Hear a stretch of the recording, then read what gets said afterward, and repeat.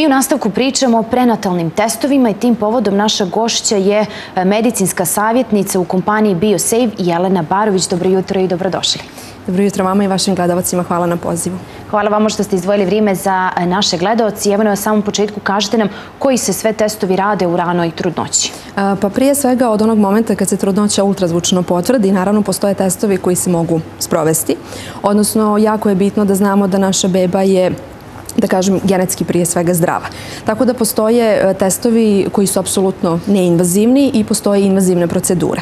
Kad govorimo o neinvazivnim testovima, prije svega tu mislimo na kombinovane biohemijske skrininge koji se rade u prvom, odnosno drugom e, trimestru trudnoće. U pitanju su double i triple test.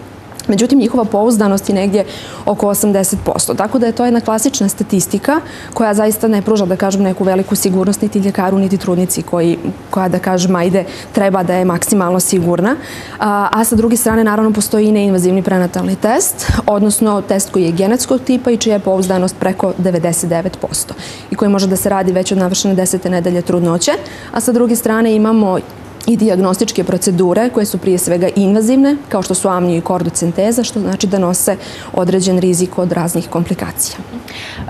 Kako prenatalni testovi određuju da li postoji genetska anomalija fetusa?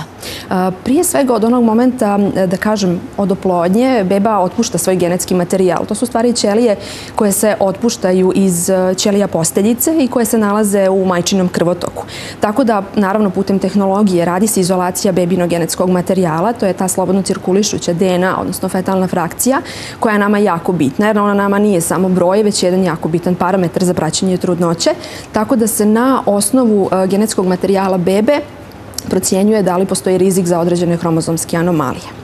A na koji način se mjeri e, slobodna fetalna frakcija? Pa e, prije svega smatra se da od navršene desete nedelje trudnoće svaka trudnica bi trebala da ima određen procenat fetalne frakcije. E, postoji naravno jedan minimum, odnosno standard koji se mora zadovoljiti, a to je prije svega 4% fetalne frakcije koja, kažem, je nama izuzetno bitna. Jer nam ne daje samo podatak o, da kažem, genetskom materijalu bebe, već i o samom stanju posteljice, što je naravno za nas jako bitno kao i za ginekologe koje prate trudnoću.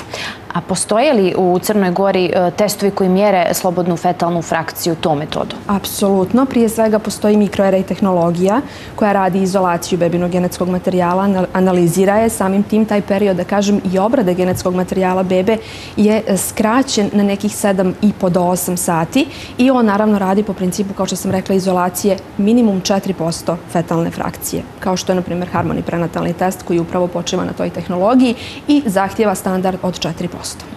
Kada pominjete Harmony test, kolika je preciznost ovog testa? Pouzdanost Harmony testa je preko 99%. Čak stopa detekcije za Downov sindrom, koji je nažalost najučestaliji u humanoj populaciji, je 99,9%. A koje trudnice bi trebalo da naprave Harmony test i kada?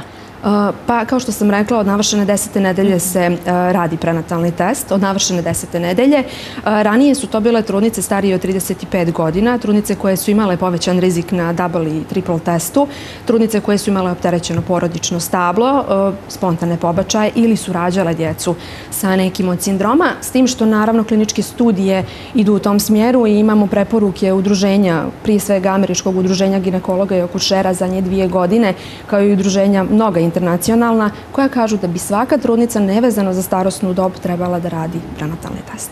A koliko se čekaju rezultati ovog testa? Kada je u pitanju harmoni prenatalni test, tri radna dana od dana prijema uzorka u laboratoriju.